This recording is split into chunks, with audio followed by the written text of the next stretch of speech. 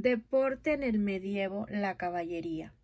Durante la época feudal, el deporte fue inspirado por valores greco-romanos. En la caballería, a los infantes les enseñaban esgrima o equitación. Se esperaba que pudieran ganarse el título de caballeros al cumplir quince años.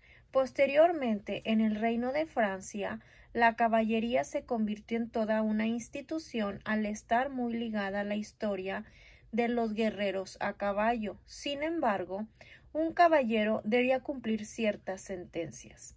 Amar al país natal, no mentir y ser generoso, hacer el bien frente a la injusticia y el mal, cumplir los deberes feudales si no eran contrarios a la ley de Dios, creer en todo lo que la Iglesia enseñara y observar todos sus mandamientos.